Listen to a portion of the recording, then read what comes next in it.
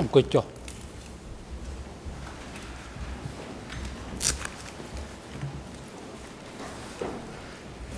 អង្គជំនុំជម្រះប្រកាសបន្តកិច្ចដំណើរការនីតិវិធីសមនការមន្ត្រីរដ្ឋបាលតុលាការអញ្ជើញសាក់សី TCW 583ចូលមកកាន់កន្លែងប្រតិកិច្ច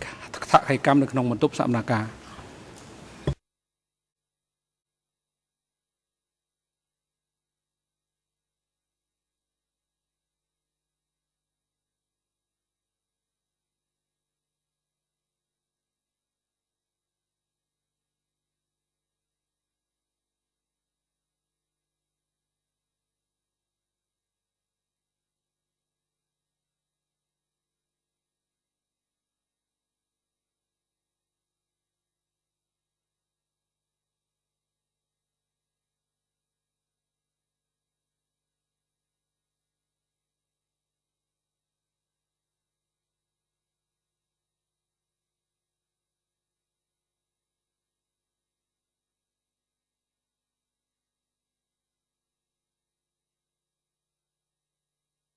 ញវាក្រហមចេះបាទចាំពូមានវិសាសបាទមើលនេះក៏បានមើលនេះក៏បានបងណាបាទបាទ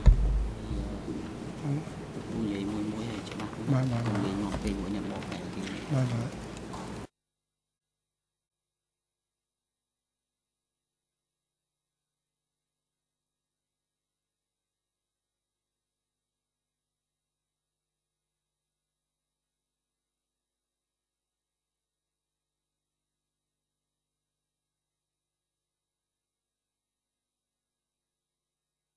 មន្ត្រីរដ្ឋបាលតុលាការអាចអាចកិលក្នុងទឹកមុខបន្តិចហើយងាកយេងាកប្រឆាត់បន្តិចដើម្បីឲ្យគាត់អាចមើលឃើញភ្លើងអឺជាសញ្ញាថាអឺក្បាលបាយមីក្រូប្រតិបត្តិការដើម្បីគាត់ទៅឆ្លើយណា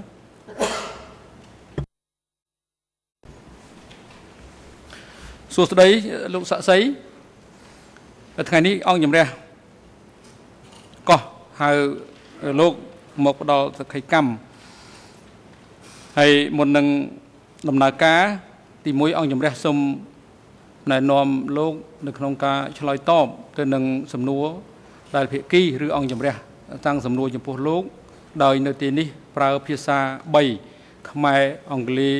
និងបារាំងដែលឆ្លងកាត់ប្រព័ន្ធបកប្រែភាសាដូច្នេះនៅពេលដែលតាំងសំណួរនិងការឆ្លើយតបនេះត្រូវមានកម្រិតគ្នាបន្តិច ដើម្បីរងចាំទុកពេលវេលាឲ្យអ្នកបកប្រែភាសាហ្នឹងបកតន់ត្រឹមត្រូវពេញលេញនៅអ្វីដែលភាគីឬក៏លោកឆ្លើយហើយឥឡូវនេះគឺអង្គជំរះបានអឺរៀបចំជាមួយនឹងខាងផ្នែកខាងបច្ចេកទេសដើម្បីតម្រួលគឺលោកមិនបាច់ចុចទេគឺគេនឹងរៀបចំជូនហើយពេលនោះលោក គ្រាន់តែរងចាំមើលភ្លើងក្រហម នៅក្បាលមីក្រូនេះលោកអាចឆ្លើយបានហើយបើមិនទាន់មានសញ្ញាក្បាលក្រហមនេះទេមានន័យថាក្បាលមីក្រូនោះមិនទាន់អាចប្រតិបត្តិការបានទេអញ្ចឹងគឺលោកកុំអាលទាន់ឆ្លើយដើម្បីឲ្យនីតិវិធីនឹងវាប្រព្រឹត្តទៅបានរហ័សហើយនឹងជាក់ច្បាស់បាទទី1ហើយទី2អង្គជំរះមុននឹងចាប់ផ្ដើមសួរដេញដោលចំពោះលោក នៅសំណួរសារធាតុអង្គជំរះសូម តាំងទំនួលមួយចំនួនពាក់ព័ន្ធនឹងប្រវត្តិសាវតារបស់លោកតើលោកស័ក្តិសិទ្ធិឈ្មោះអ្វីដែរ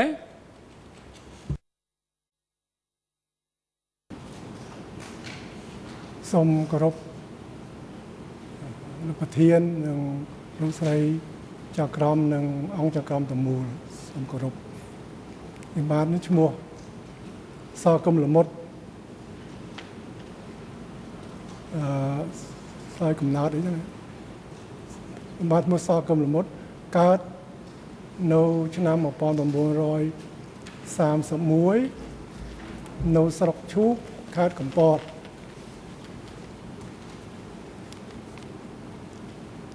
បាទអរគុណតើក្រៅពីឈ្មោះសកឹមលមុតហ្នឹងតើលោកមានធ្លាប់ប្រើឈ្មោះអ្វីផ្សេងពីនេះដែរឬទេ ជាពិសេសនៅក្នុង សម័យកាលធ្វើបដិវត្ត70 75ឬក៏70 70 79ណាបាទមានគឺឈ្មោះមីបាទអរគុណហើយតើលោកមានទីលំនៅសពថ្ងៃនៅទីកន្លែងណាដែរអឺផ្ទះលេខ42 ផ្លូវ234ផ្សារទួលកកភ្នំពេញអផ្សារដើមកខាងទួលកកបាទអរគុណតើឪពុករបស់លោកឪពុកបង្កើតរបស់លោកគាត់ឈ្មោះអ្វីដែរឈ្មោះរដ្ឋសកឹមបាទអរគុណចុះម្ដាយបង្កើតរបស់លោកគាត់ឈ្មោះអ្វីដែរ ឈ្មោះញប់សកុនបាទសំទោស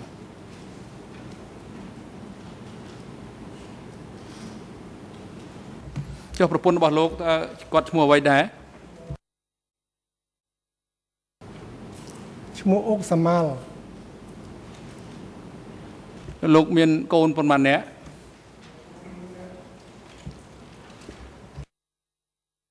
តើមានកូន4នាក់បាទអរគុណ លោកសកឹមលមុតតាមរបាយការណ៍របស់កលាមជីសមនការអមាញ់មិញនេះគាត់បានរាយការណ៍ថាតាមសមត្ថភាពដែលលោកបានដឹងលោកមិនមានជាប់ញាតលោហិតឬក៏ញាតពន្ធជាមួយគូភិគី មានដើមម្ដងរដ្ឋបពិនីហើយនឹងជនជាប់ចោតទាំង3រូបនៅក្នុងរឿងក្តីនេះទេតើរបាយការណ៍របស់កលាមជីដែលរាយការណ៍ដូចនេះជាការត្រឹមត្រូវដែរឬទេ បាទជាការត្រឹមត្រូវបាទហើយកលាមជីក៏បានរាយការណ៍ថាលោកបានធ្វើសម្បត្តិរួចហើយនៅចំពោះមុខអ្នកតាដំបងដែកមុននឹងលោកចូលមកផ្ដល់តក្កីកម្មនេះ គឺលោកធ្វើកាលពីថ្ងៃទី21កន្លងមកតើជាការពិតដែរឬទេបាទនេះជាការពិតបាទអរគុណ ឥឡូវនេះអង្គជំរះសូមជម្រាបជូនលោកអំពីសិទ្ធិនិងករណីកិច្ចក្នុងនាមលោកជាស័ក្តិសិទ្ធិនៅចំពោះមុខអង្គជំនួយជម្រះក្នុងនាមលោកជាស័ក្តិសិទ្ធិនៅក្នុងកិច្ចដំណើរការនីតិវិធីសមនការនៅចំពោះមុខអង្គជំរះឡាដបងនេះលោកអាចបដិសេធក្នុងការឆ្លើយតបទៅនឹងសំណួរឬការធ្វើអំណះអំណាងណាមួយឬច្រើន ដែលនាំឲ្យដាក់វិរុទ្ធភាពលើខ្លួនឯងសិទ្ធិមិនធ្វើសក្ខីកម្មប្រឆាំងនឹងខ្លួនឯង មានន័យថាដោយសារតែចម្លើយឬអំណះអំណាងរបស់លោកនោះនាំឲ្យលោកនឹងត្រូវទទួលរងការចោទប្រកាន់ហើយទន្ទឹមនឹងនេះដែរគឺអង្គជំរះសូមជម្រាបអំពីករណីយកិច្ចរបស់លោកក្នុងនាមលោកជាស័ក្តិសិទ្ធិលោកត្រូវតែផ្ដល់សក្ខីកម្មក្នុងកិច្ចដំណើរការនីតិវិធីចំពោះមុខអង្គជំរះនេះគឺត្រូវឆ្លើយតបទៅនឹងសំណួរទាំងឡាយដែលភិក្ខីឬអង្គជំរះបានតាំងសំណួរចំពោះលោក លើកលែងតែក្នុងករណីឆ្លើយទៅនឹងសំណួរឬការអត្ថាធិប្បាយណាមួយឬច្រើន ដែលនាំឲ្យដាក់វិរុទ្ធភាពលើខ្លួនឯងដោយអង្គជំរះបានជម្រាបជូនខាងលើអំបញ្ញមិញនេះហើយលោកជាស័ក្តិសិទ្ធិត្រូវតែឆ្លើយតែការណាដែលពិតដែលលោកបានដឹងបានឮបានឃើញបានចងចាំឬបានឆ្លងកាត់នៅបទពិសោធន៍តាមរយៈការជួបប្រទះឬការធ្វើសង្កេតកន្លងមកដោយផ្ទាល់នៅហេតុការណ៍ ព្រឹត្តិហេតុទាំងឡាយដែលពាក់ព័ន្ធនឹងសំណួរដែលភាគីឬចក្រមនៃអង្គជំរះរដ្ឋបងតាំងទំនួលចំពោះលោកតើលោកយល់អំពីបញ្ហានេះទេបាទបានយល់ហើយបាទបាទអរគុណហើយជាដំបូងនេះអង្គជំរះសូម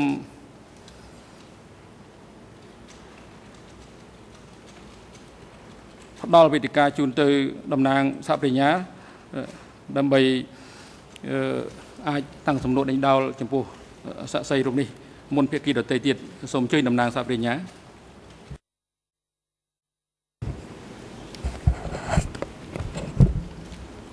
អរគុណអឺលោកប្រធាន សូមគោរពលោកលោកស្រីចៅក្រមនៃអង្គជំនុំជម្រះទាំងមូលសូមគោរពភិក្ខីដែលបានចូលរួមនៅក្នុងអង្គសកម្មការនេះនិងសូមគោរព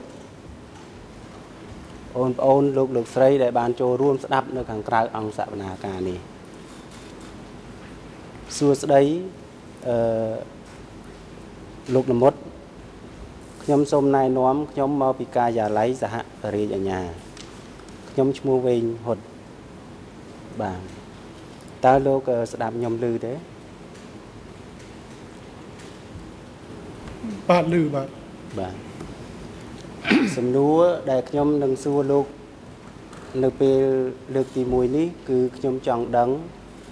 អំពីរចនាសម្ព័ន្ធថ្នាក់មូលដ្ឋាន របស់កម្ពុជាប្រជាធិបតេយ្យ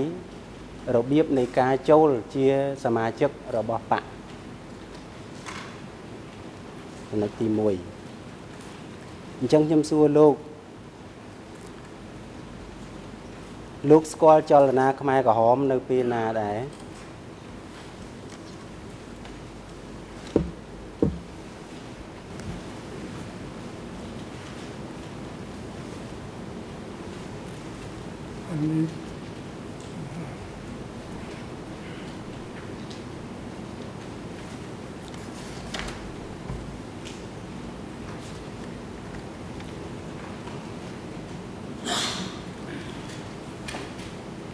ចាំថ្ងៃឆ្នាំច្បាស់ទេប៉ុន្តែអាចថាបានក្នុងសម័យអឺសង្គមរាស្ត្រនិយមមុននឹងតិចតួចបាទមិនចាំថ្ងៃខែច្បាស់ទេ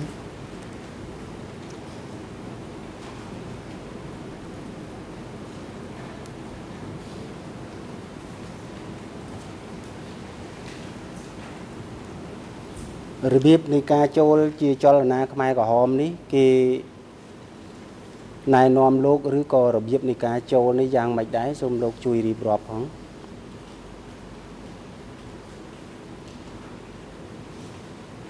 នេះគឺថាតាមថាមានការណែនាំមិត្តភ័ក្តិផងហើយក៏ប្រជុំអីជាមួយគ្នាអញ្ចឹងទៅ វាអញ្ចឹងបាទ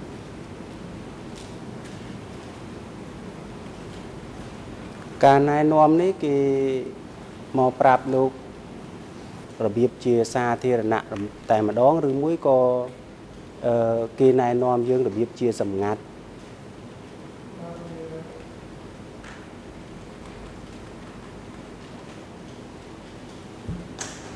បាទវាជាសម្ងាត់ទេ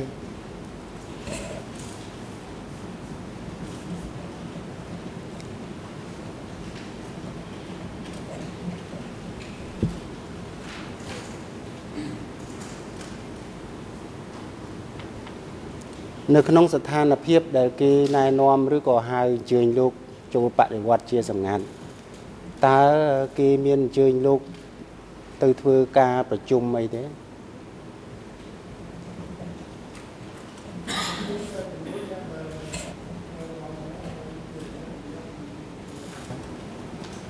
សំទោសអឺមានការប្រជុំដែរជាមួយអ្នកដែលតែណែនាំស្គាល់គ្នាហ្នឹងហើយជា ជារយៈរយៈមានការប្រជុំ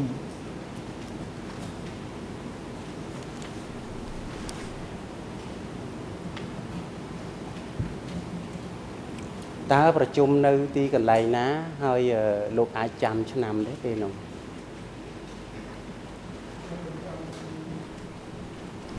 ខ្ញុំមិនចាំឆ្នាំទេតែការប្រជុំនេះអាចទៅម្ដងនៅកន្លែងនេះផ្ទះណានេះផ្ទះណានោះចឹងទៅខ្ញុំ មិនចាំឆ្នាំទេ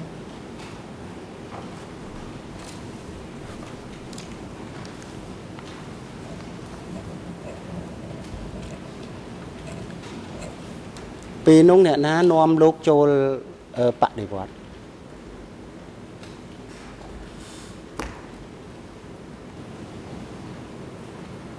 ខ្ញុំមិនចាំថាឈ្មោះនរណាទេប៉ុន្តែថាវាមានគ្នាប្រហែលអ្នកចឹងទៅប្រជុំនេះទៅ ហើយវាបន្តិចម្ដងបន្តិចម្ដងចឹងវានៅក្នុងចលនាហ្នឹងទៅបាទខ្ញុំមិនចាំថាឈ្មោះណាឈ្មោះណាទេហើយគេមានប្រាប់លោកថាចូលបដិវត្តហ្នឹងដោយសារមូលហេតុអីទេពេលនោះ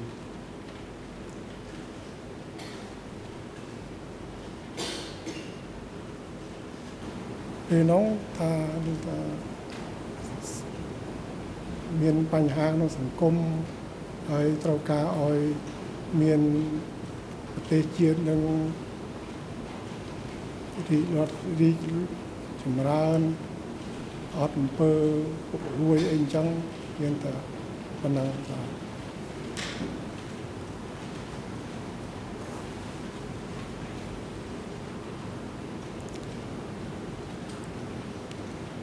ក្នុងពេលចូលបដិវត្តដំបូង តើគេមានប្រាប់លោកឬក៏ឲ្យលោករៀបចំប្រវត្តិរូបឬទេ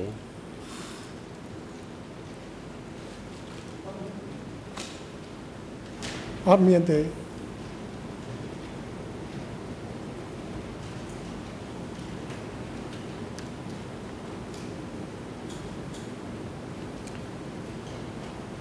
ខ្ញុំសួរថយក្រោយបន្តិច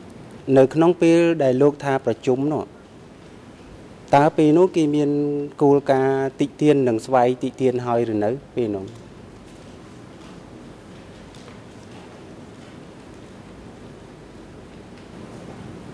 ពេលដំបូងឡើងដូចជាខ្ញុំចាំដូចជា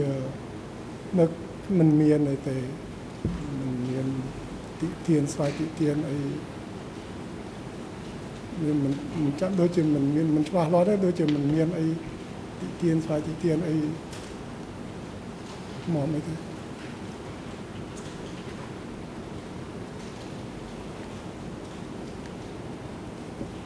ខ្ញុំសួរគៀកបន្តិចនៅក្នុងស្ថានភាពដែលលើកដែលលោកបានចូលលើកដំបូងនោះតើលោកបានជួយអីខ្លះទៅដល់បដិវត្តន៍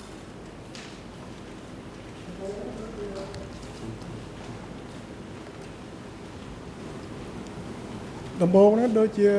គ្មានបានជួយអីទេដំបូងហ្នឹងគ្មានទេ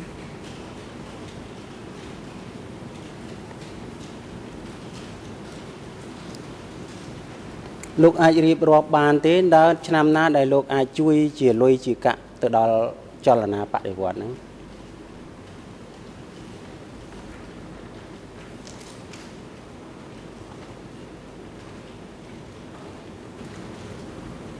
បន្តមកទៀតហ្នឹងគឺថានៅរវាងឆ្នាំដែល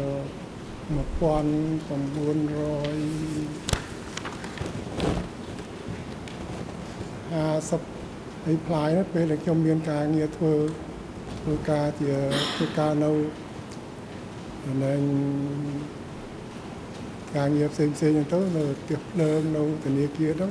មានចូលជួយជាលុយកាក់ខ្លះ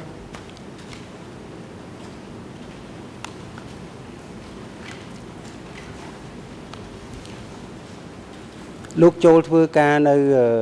ធនាគារហ្នឹងនៅ ឆ្នាំណាដែរបើមិន1963 64ប៉ុណ្ណឹងអាបាលនោះមុនហ្នឹងខ្ញុំធ្វើនៅផ្ទះភ្លើងហើយមុនហ្នឹងទៀតខ្ញុំធ្វើនៅ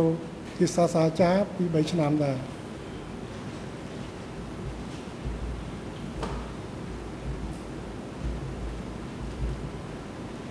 លោកមានមុខងារជាអីដែរនៅ ធ្វើការនៅធនាគារហ្នឹង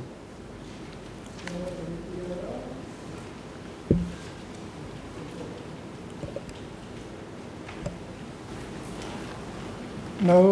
ធនាគារហ្នឹងដំបូងឡើងបន្ទាប់ពីបានហ្វឹកវើន5 6ខែខ្ញុំត្រូវបានតែងតាំងធ្វើជាប្រធានសាខានៅក្រុងប្រសិទ្ធអនុក្រោយមក គេបញ្ជូនឲ្យទៅហ្វឹកវើននៅប្រទេសបារាំងពី3ខែនៅធនាគារបារាំងមួយហើយត្រឡប់មកវិញក៏ធ្វើជាប្រធានផ្នែកអន្តទានគឺថាឲ្យគេខ្ចីលុយចៃកាក់ហ្នឹងផ្នែកខ្ចីលុយចៃកាក់រហូត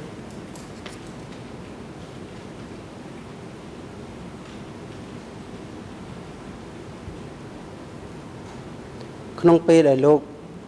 បានឡើងកាន់ជាប្រធានផ្នែកខ្ចីលុយខ្ចីកាក់តើអ្នកណាទទួលខុសត្រូវអឺពីលើលោកពេលនោះ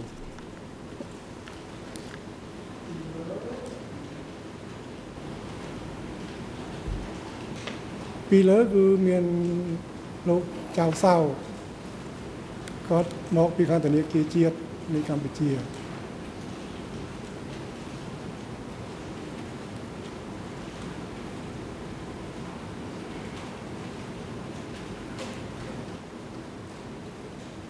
នៅពេលក្នុងនាមដែលលោកជាប្រធានផ្នែក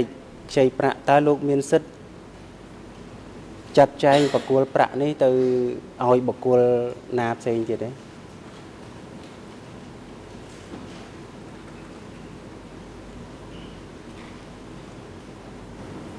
ក្នុងកិច្ចការនេះគឺថាខាងផ្នែកខាងខ្ញុំនេះគ្រាន់តែ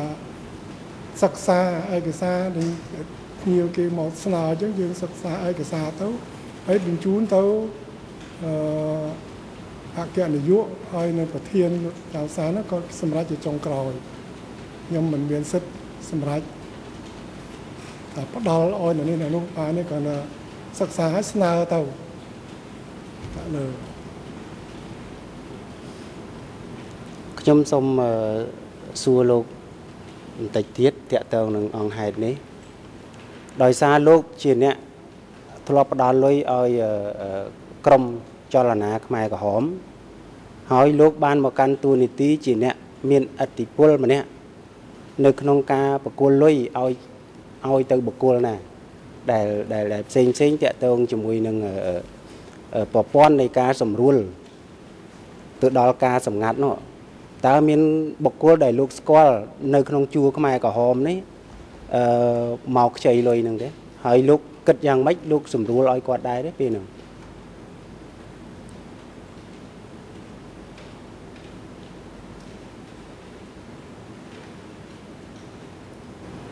អត់មានទេបាទអរគុណលោកលោកតំណាងសហប្រញ្ញាជាតិគួរពិចារណាឡើងវិញអំពីការតាំងទំនួលដែលពាក់ព័ន្ធ ជិតស្និទ្ធទៅនឹងអង្គហេតុទាំងឡាយដែលបង្ហាញនៅក្នុងដីកាដំណោះស្រាយដែលអង្គជំរះបានកំណត់យកមកធ្វើសកម្មភាពនៅក្នុងទំនុំរឿង002/01ជៀសវាងការសួរដេញដោលនៅបញ្ហាទាំងឡាយដែលវាឆ្ងាយពេកធៀបជាមួយនឹងអង្គហេតុដែលត្រូវបានចោទប្រកាន់ហើយអង្គជំរះកំណត់យកមកសួរដេញដោលនៅក្នុងកិច្ចដំណើរការសកម្មភាពនេះកិច្ចដំណើរការសកម្មភាពនេះជាការពិតហើយក្នុងការសួរដេញដោលពាក់ព័ន្ធនឹងសំណួរមួយចំនួនចំពោះ ប្រវត្តិសាវតាបកកុម្មុយនីសកម្ពុជា ដែលអាចកើតមុននៅក្នុងអំឡុងពេលអឺយុទ្ធធិការអវតកគឺមុនថ្ងៃទី17ខែមេសាឆ្នាំ75ប៉ុន្តែនោះគឺជាបញ្ហាជាប់ទាក់ទន់ទៅនឹងប្រវត្តិសាវតានៃបកកុម្មុយនីសកម្ពុជាប៉ុណ្ណោះក្រៅពីនេះគឺអង្គហេតុដែលមានការពាក់ព័ន្ធខ្លាំងគឺអង្គហេតុដែលស្ថិតនៅក្នុងអំឡុងពេល នៃយុទ្ធតិការអវតកគឺចាប់ពីថ្ងៃទី17មេសា75ដល់ថ្ងៃទី6មករាឆ្នាំ1979នេះជាអង្គហេតុចម្បងដែលយើងមកដោះស្រាយហើយនៅក្នុងនោះគឺយើងបានបំបីរួចហើយគឺអង្គហេតុដែលយើងលោកមកធ្វើសកម្មភាពនៅក្នុងដំណាក់កាលនៃដំណើរការសកម្មភាពទី1នេះគឺអង្គហេតុពាក់ព័ន្ធទៅនឹងដំណាក់កាលនៃការជំលះទី1ហើយនិងទី2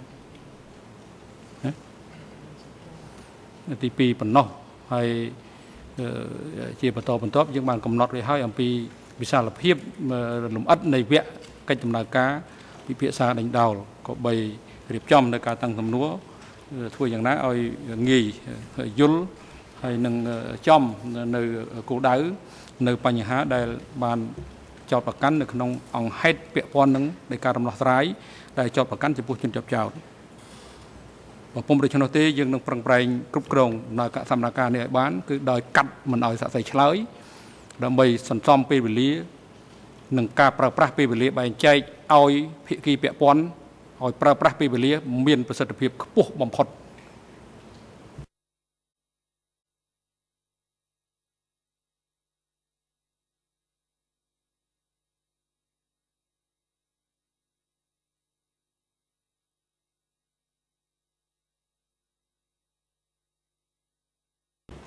ចុចក្បាលមីក្រូ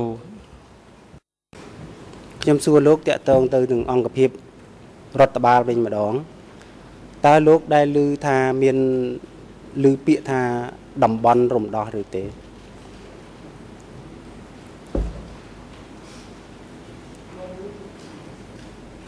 អត់ធ្លាប់ឮបាទ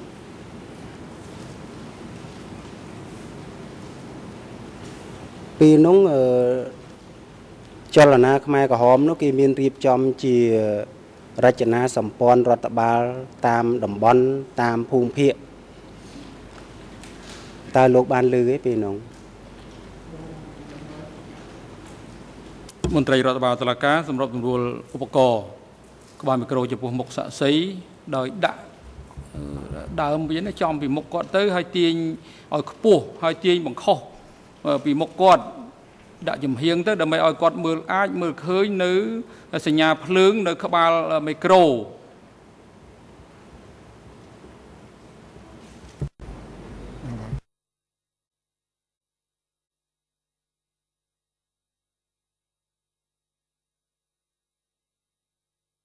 អញ្ជើញបន្តលោកដំណើរថាវិញ្ញា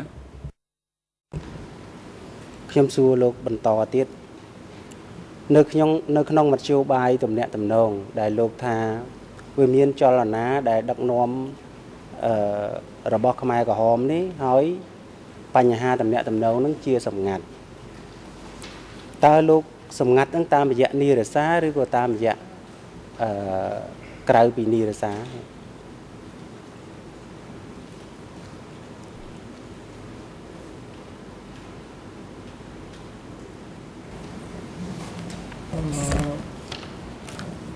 សំណួរនេះខ្ញុំពិបាកឆ្លើយបន្តិចពីព្រោះថាមិនដឹងជាតកតងចលនាទូទៅឬចំពោះការងារខ្ញុំដែលធ្វើក្នុងធនាគារនោះខ្ញុំខ្ញុំតើខ្ញុំឆ្លើយចំណុចណាអឺខ្ញុំសុំទៀតអីយ៉ាសុំសុំទោសខ្ញុំ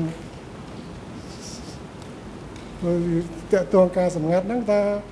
ពេលខ្ញុំធ្វើការឬក៏ជា តកតងទូទៅរបស់ចលនាខ្មែរក្រហមខ្ញុំសូមសូមអភិជាខ្ញុំឆ្លើយទៅចំណុចណាខ្ញុំសូមសួរលោកអឺតកតងនឹងចលនាខ្មែរក្រហមដែលលោកបានចូលនោះណាកិច្ចការទាំងអស់គឺថាជាសម្ងាត់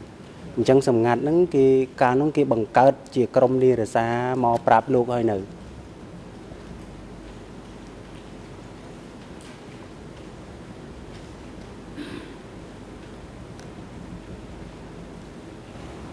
កាលនោះគ្មានទេ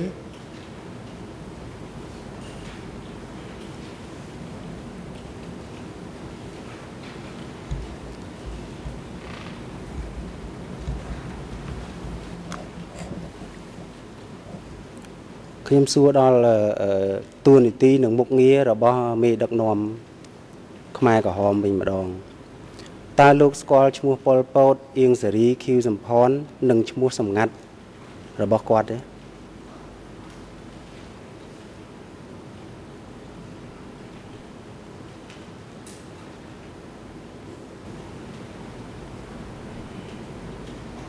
ខ្ញុំ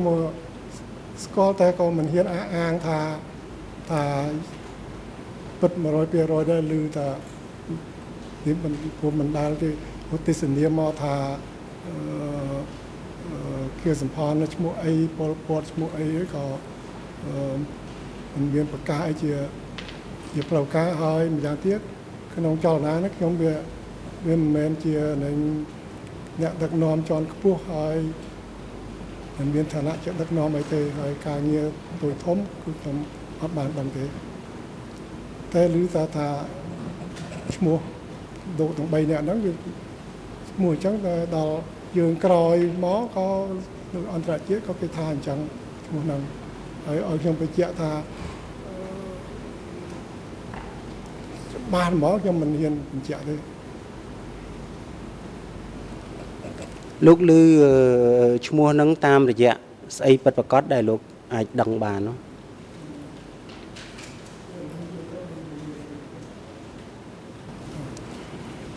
មិនមានស្អីពិតប្រកបទេ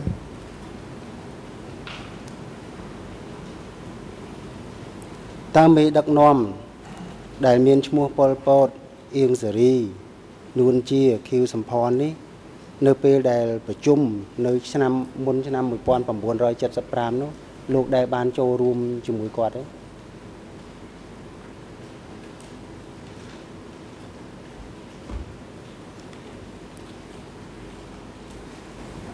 អត់ដែលបានទេបាទ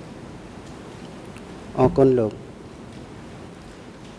ខ្ញុំសួរតាក់ទងជាមួយនឹងការងាររដ្ឋបាលនិងភ័ស្តុភារនៅមុនឆ្នាំ1975ម្ដង តើលោកដែលឮពាក្យថាមន្ទីរទេ នៅក្នុងសម័យមុនឆ្នាំ1975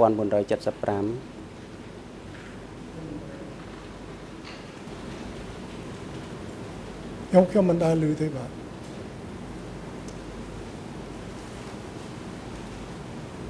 តើលោកដែលឮពាក្យលេខសម្ងាត់ចំនួន3ខ្ទង់ដែលគេប្រើថា807 លោកដែលឮទេពាក្យហ្នឹង870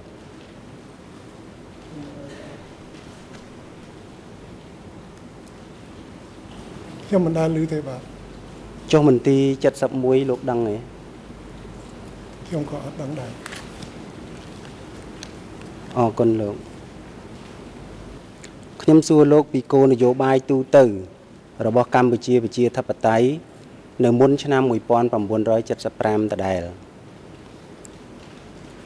តើលោកដែលឮពាក្យថាផ្ដាច់ការបដិវត្តទេ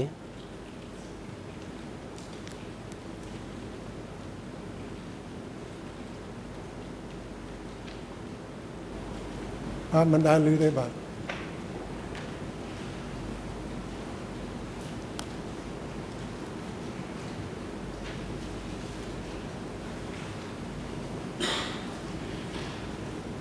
ចុះពាក្យ3តោនលោកដែលឮទេ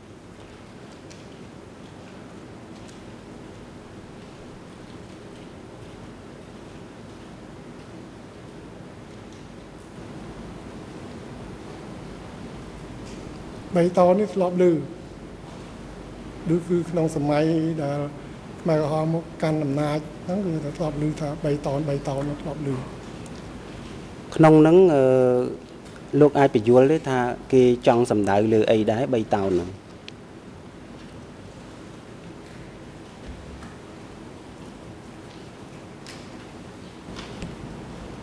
បីតនហ្នឹងបានន័យថាមហត្តាធ្វើស្រូវឲ្យបាន3តន អរគុណលោកតើលោកស្គាល់ឈ្មោះវណ្ណរិទ្ធទេ មុនឆ្នាំ1975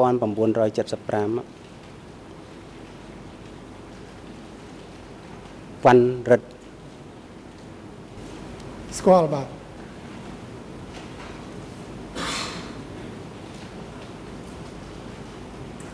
វណ្ណរិទ្ធនេះអស់វណ្ណរិទ្ធនេះគាត់មានសកម្មភាពយ៉ាងណាដែរជាមួយនឹងអឺអឺរបបលន់នល់នោះលោកអាចជួយបញ្យល់បានទេ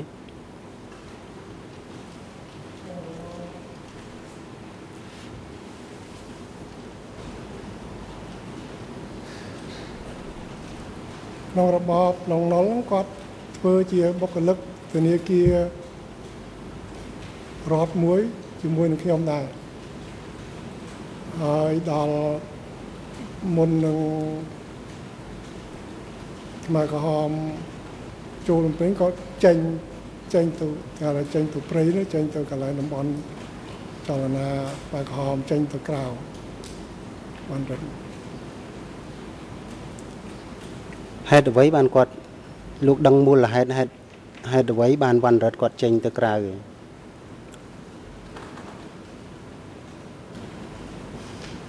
រឿងនេះពេលនោះខ្ញុំមិនដឹងហេតុអ្វីទេប៉ុន្តែក្រោយមកដឹងថាអឺពេលនោះខាងរបបឡុងណុលហ្នឹងរកចាប់គាត់គាត់ក៏ភៀសខ្លួនចេញទៅតែពេលនឹងចេញទៅនោះខ្ញុំមិនដឹងមូលហេតុអីទេគាត់ថាបាត់ទៅហ្មង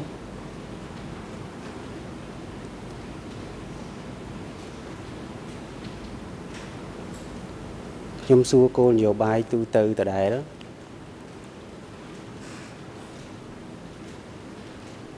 តើសត្រូវរបស់បដិវត្តន៍គេសំដៅទៅលើលោកលន់ណុលឬក៏សំដៅទៅលើទាហានលន់ណុលទាំងអស់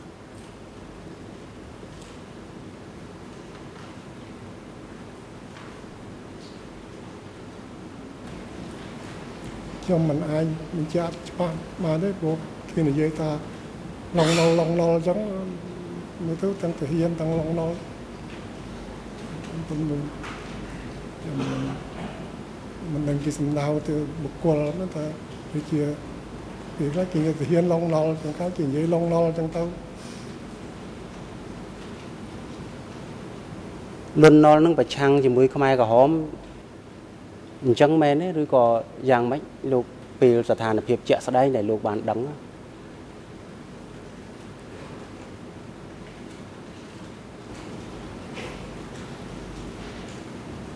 តើនេះខ្ញុំពិបាកឆ្លើយបន្តិចប៉ុន្តែទៅតាមហេតុផលគាត់គាត់ប្រឆាំងហើយព្រោះម៉ែក្រហមច្បាំងមួយគាត់គាត់គាត់គាត់ប្រឆាំងហើយនេះតាមហេតុផលខ្ញុំតាមចិត្តគំនិតគាត់យ៉ាងម៉េចខ្ញុំក៏មិនអាចសន្និដ្ឋានបានដែរ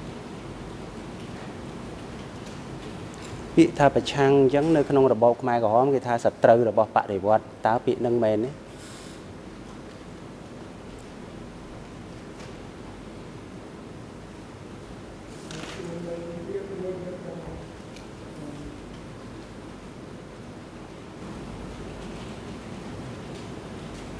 ព្រោះចិត្តว่าប្រឆាំងហ្នឹងមិនមិនបដិវត្តន៍ក៏ប្រើពាក្យហ្នឹងដែរប្រឆាំងហ្នឹងតែដោយតែចំពោះតែបដិវត្តន៍ដល់មិនខ្ញុំមិនមិនអាចយកនិយមន័យហ្នឹងហើយមកក្នុងរបបមកក្រោយមកគឺថាពេលលេងមកក្រហមកាន់កាប់គឺថា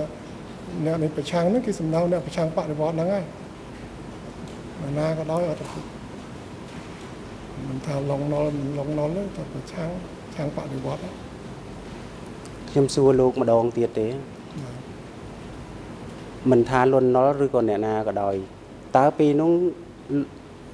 អឺគេសំដៅទៅលើទាំងទាហានលន់ណុលទាំងអស់ឬក៏យ៉ាងម៉េចលោកអាចបញ្យល់បានទេ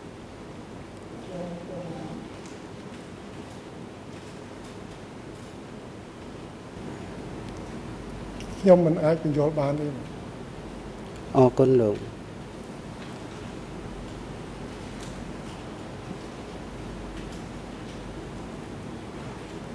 ចុះអំណាចជិះជាន់វិញតើលោកដែរលឺឯពាក្យហ្នឹង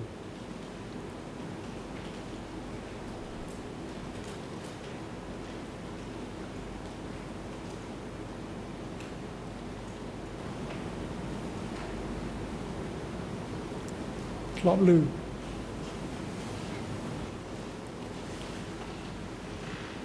នៅក្នុងរបបកម្ពុជាប្រជាធិបតេយ្យអំណាចជិះជាន់ហ្នឹងគេទៅសំដៅទៅលើអំណាចដូចម្ដេចដែរលោក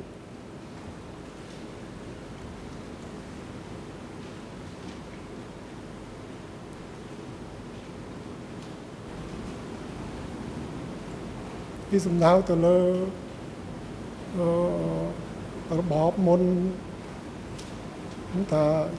ជិះជាន់ប្រជាជនក្រីក្រអីចឹង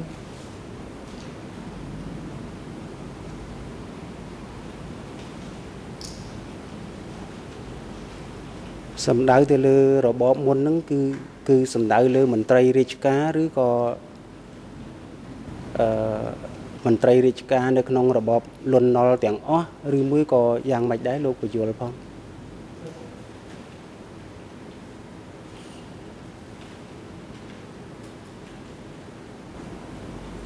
ខ្ញុំមិនអាចបញ្យល់បានថាតើវារបបឡងណុលមន្ត្រីទាំងអស់ខ្ញុំមិនអាចបញ្យល់បានដែរពីព្រោះអឺអ្នកដែលគេគ្រប់គ្រងហ្នឹងគឺមានទស្សនៈនយោបាយផ្សេងខ្ញុំនៅខាងខាងក្រោមនេះខ្ញុំមិនដឹងជាអ្នកអ្នកដឹកនាំហ្នឹងគេមានទស្សនៈមានអីយ៉ាងម៉េចខ្ញុំខ្ញុំមិនអាចបញ្យល់បានទេបាទបាទ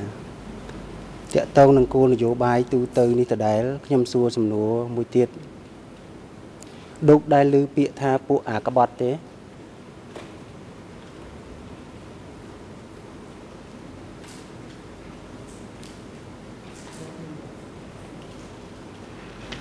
ធ្លាប់ឮបាទ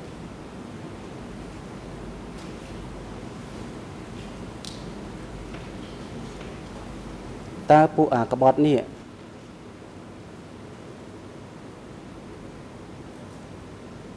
គេសំដៅទៅលើបុគ្គលណាជាក់លាក់ទេសូមលោកជួយប្រាប់ផង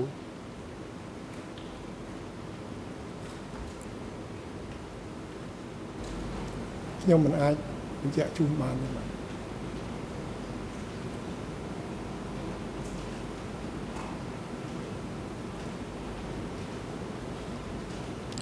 លោកមាន ប្រសាសន៍អំបញ្ញមិញថាលោកធ្លាប់ឮគេនិយាយថាពួកអាក្បត់ តើឮតាមមធ្យោបាយអីលោកអាចប្រាប់ផងបានទេខ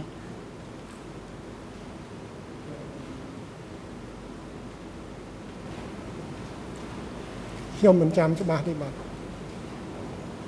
ពីព្រោះរឿងហ្នឹងវា30ឆ្នាំជាងមកហើយខ្ញុំមិនមិនចាំថា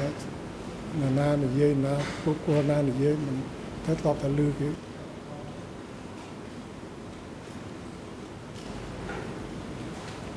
ខ្ញុំសួរតាក់ទងនឹងគោលនយោបាយទូទៅដដែលតើលោកដែលឮពាក្យថាក្នុងជួរនិងក្រៅជួរឬទេ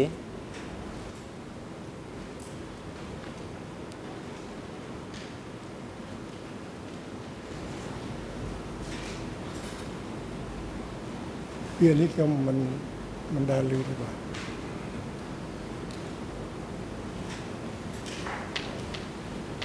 អរគុណលោក ខ្ញុំតាក់ទងទៅជំផ្នែកមួយទៀតគឺគោលនយោបាយអប់រំស្ដីពីទស្សនៈបកនៅពេលដែលលោកចូលនៅក្នុងបកកុម្មុយនីសកម្ពុជាតើគេបង្រៀនមនោគមវិជ្ជាអ្វីខ្លះដល់លោក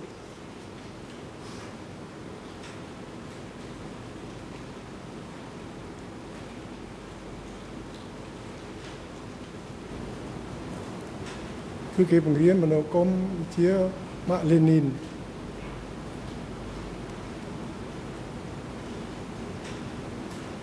គេមានប្រគល់ជាសិភៅឬមួយក៏ជា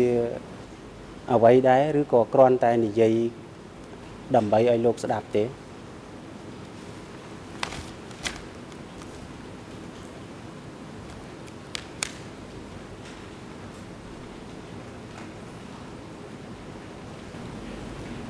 គេគ្រាន់តែនិយាយឲ្យស្ដាប់ទេថាមិនដែលបានឲ្យឯកសារអីយកមកមើលទេបាទ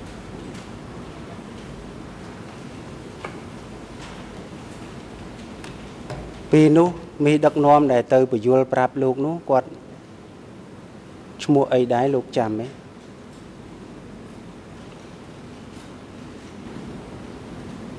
ខ្ញុំមិនចាំទេបាទអរគុណលោក តកតងនឹងការអប់រំនេះតើលោកដែលបានឮពីសិភៅតុងបដិវត្តឬក៏ទស្សនាបដីយុវជនបដិវត្តឬទេ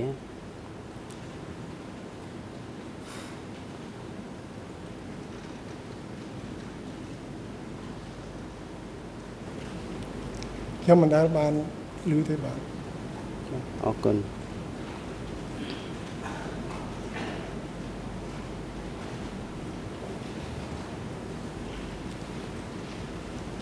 ខ្ញុំសូមសួរលោកមួយទៀតតកតងជាមួយនឹងគោលការណ៍នៃសិទ្ធិជាមូលដ្ឋានរបស់ពលរដ្ឋលោកដែលដឹងពាក្យថាលុបបំបត្តិកម្មសិទ្ធិឯកជននេះនៅក្នុងសម័យនៅអឺខ្ញុំសួរមុន75នេះតើគេមានបង្រៀនអំពីកម្មសិទ្ធិឯកជនស្ស្ដីពីគោលបំណងនៃការលុបបំបត្តិនឹងលោកដែលលើហ៎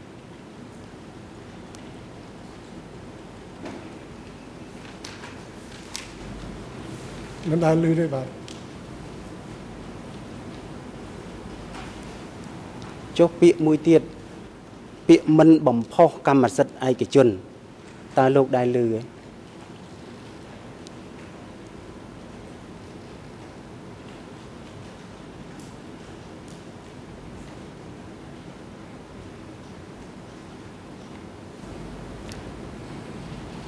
ពីមុន75មិនដែលឮពាក្យហ្នឹងទេដល់ ក្រោយមកធ្លាប់ឮអបវិទ្យាឯកជនហ្នឹង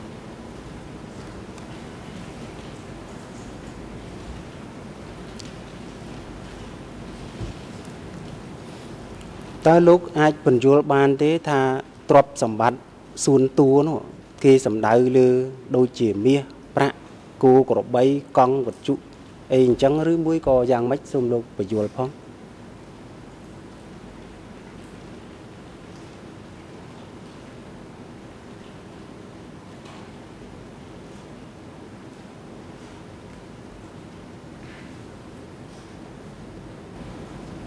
គឺរបស់សួនតួហ្នឹងគឺរបស់ដូចអឺលោកបានរៀបរាប់បាញ់មិញហ្នឹងគឺហ្នឹងគេថាវត្តរបស់សួនតួហ្នឹង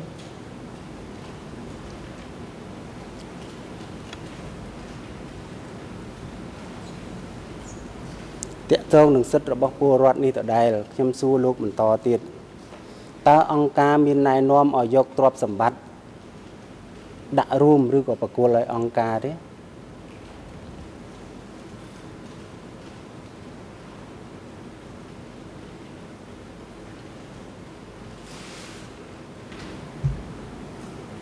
មិន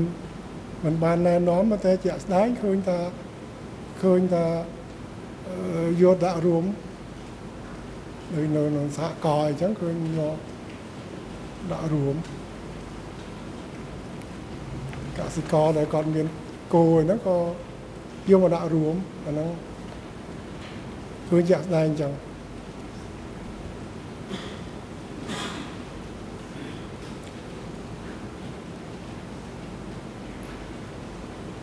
ការចូលបដិវត្តដំបូងបដិវត្តមានណែនាំថាយើងត្រូវតែស្មោះត្រង់សូម្បីតែម្ទេសមួយផ្លែក៏ត្រូវសុំប្រជាជនដែរតើលោក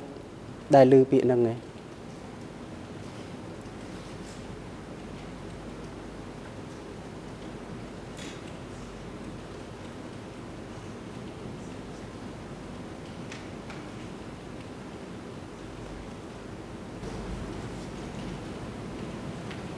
ពេលដំបូងមិនដែលឮទេពីព្រោះថាអឺពួកខ្ញុំនេះសិតតែជាសារនៅបញ្ញជនដូចណាគេមិនដែលអប់រំពីរឿងប្រទេសពីរឿងអីនេះហើយគេអប់រំនៅមជ្ឈដ្ឋានជាជនពីទៅហ្នឹងថាអឺកុំអោយលួចប្រទេសលួចអីនឹងអីចឹងតែខ្ញុំនៅខាងបញ្ញជននេះផ្នែកបញ្ញជនមិនមិនមានការអប់រំអញ្ចឹងទេ បាទតើលោកធ្លាប់ឮកងកុមារទេ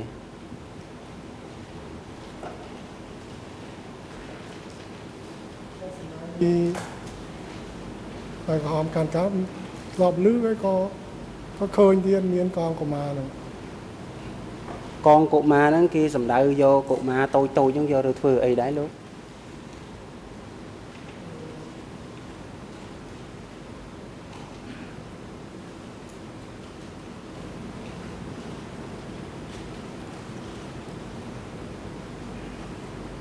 នេះខ្ញុំនិយាយបានតែក្នុងក្របខ័ណ្ឌសហគមន៍ដែលខ្ញុំរស់នៅទេគឺកងកុមារហ្នឹងគាត់នៅគេយកដាក់កុមារនៅម្ដុំចឹងទៅហើយធ្វើការអីអឺពិសេសពិសេសនៅក្នុងសហគមន៍ទេហើយអត់ឃើញមានទៅណាមកណាទេហើយត្រង់កន្លែងផ្សេងទៀតខ្ញុំមិនដឹងទេ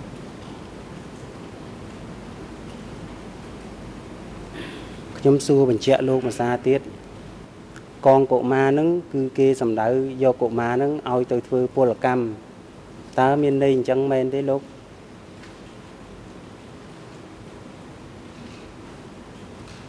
អត់មានន័យអញ្ចឹងតែទាំងអស់គ្នាធ្វើពលកម្មទាំងអស់គ្នាខ្ញុំមិនជាចាស់ហ្នឹងក៏ធ្វើពលកម្មតែថាកុមារហ្នឹងគេប្រមូលផ្ដុំមកនំមកដុំចឹងទៅក្នុងសហគមន៍ហ្នឹងឲ្យនៅបែកពីម្ដាយឪពុកអញ្ចឹងទៅហើយ កុមារតូចតូចយប់ឡើងឲ្យមកដេកនៅជាមួយពុកម្ដាយអញ្ចឹងទៅយកពេលនោះនរណាក៏ពលកម្មដែរបាទ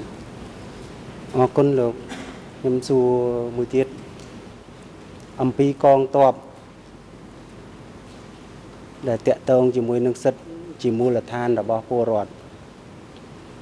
តើលោកដែលឮថាកងទ័ពរងរបួសដែរទេ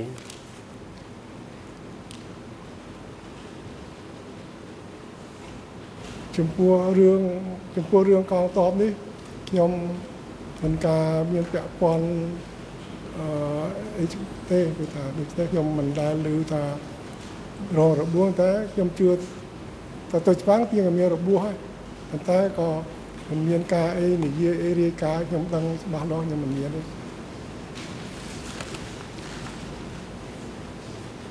នៅពេលដែលគេរៀបអាពាហ៍ពិពាហ៍ជាមួយកងទ័ព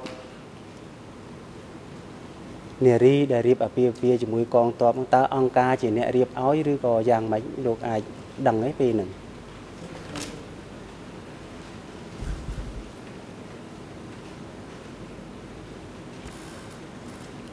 លោកឆ្លើយមួយសារទៀតគឺបង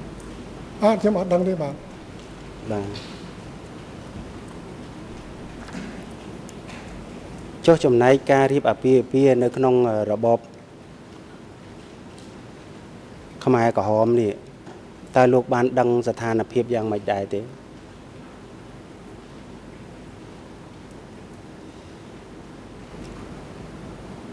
អត់ក្រៅពីក្នុងរង្វង់សហករណ៍តូចដែលខ្ញុំរស់នៅនោះខាងក្រៅខ្ញុំមិនដឹងជាគេរៀបចំបៀបម៉េចខ្ញុំមិនដឹងទេបាទអរគុណលោកឥឡូវនេះខ្ញុំឈានមកសំណួរតាក់ទងជាមួយនឹងសាសនាវិញម្ដង តើលោកដែលឮពាក្យថាសាសនាបានហើយលោកដំណើរថាបញ្ញាបើឥឡូវនេះជាកិច្ចដំណើរការសកម្មភាពសម្រាប់ថ្ងៃនេះឃើញថាដល់ពេលសំលមមនឹងសម្រាប់ហើយអង្គជំរះប្រកាសផ្អាកកិច្ចដំណើរការសកម្មភាពសម្រាប់ថ្ងៃនេះត្រឹមនេះសកម្មភាពលើកទៅបន្តធ្វើនៅថ្ងៃស្អែកថ្ងៃពហុទី31ខែឧសភាឆ្នាំ2012ដោយចាប់ផ្ដើមពីម៉ោង9ព្រឹក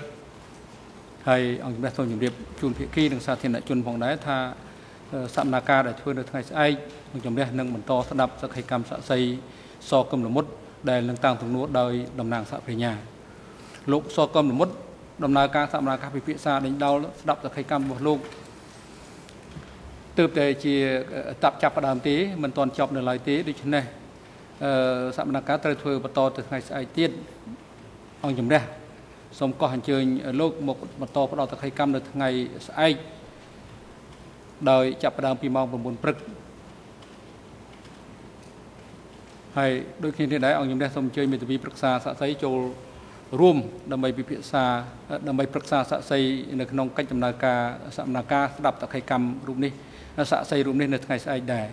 មន្ត្រីរដ្ឋបាលតុលាការសម្រាប់រួលជាមួយនឹងមន្ត្រីអង្គភាពគម្ពីសាក់សីនិងអ្នកជំនាញក្នុងការបញ្ជូនសាក់សីសកលមុតវិលត្រឡប់ទៅកាន់ដំណើរឋានរបស់គាត់វិញនិងឲ្យនាំគាត់ត្រឡប់មកកាន់ទី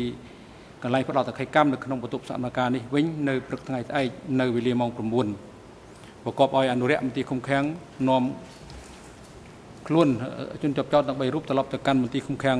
នៃអវតកវិញចុះនិងឲ្យនាំពួកគាត់ទាំង3រូបមកកាន់បន្ទប់សកម្មភាពនេះវិញនៅព្រឹកថ្ងៃស្អែកឲ្យបានមុនម៉ោង9ដែលឡែកលោកអៀងសេរីដោយពីម្សិលមិញនិងពីព្រឹកមិញអញ្ចឹងប្រសិនបើគាត់បង្ហាញចំហជាក់ច្បាស់នៅក្នុងការលះបង់សិទ្ធិចូលរួមដោយផ្ទាល់នៅក្នុងកិច្ចដំណើរការសកម្មភាព សុំនៅបន្តតាមដានកិច្ចដំណើរការសកម្មភាពពីចម្ងាយពីបន្ទប់មួយស្ថិតនៅក្រោមបន្ទប់សកម្មភាពនេះតាមរយៈពាក្យសុំលះបង់សិទ្ធិចូលរួមដោយផ្ទាល់ក្នុងបន្ទប់សកម្មភាពនេះជាលិលាអសរបានមុនពេលអង្គសកម្មភាពចាប់ផ្ដើមដំណើរការនៅម៉ោង9ព្រឹកនោះអង្គជំរះឲ្យអនុរិយមន្ត្រីឃុំឃាំងនាំខ្លួនគាត់មកត្រឹមតែបន្ទប់ឃុំខ្លួនមួយនៅក្រោមបន្ទប់សកម្មភាពនេះដែលរៀបចំឧបករណ៍សោះទោះសម្រាប់លោកគាត់បន្តតាមដានកិច្ចដំណើរការសកម្មភាពពីចម្ងាយ សម្រាប់ចុះសូមក្រោកឈរ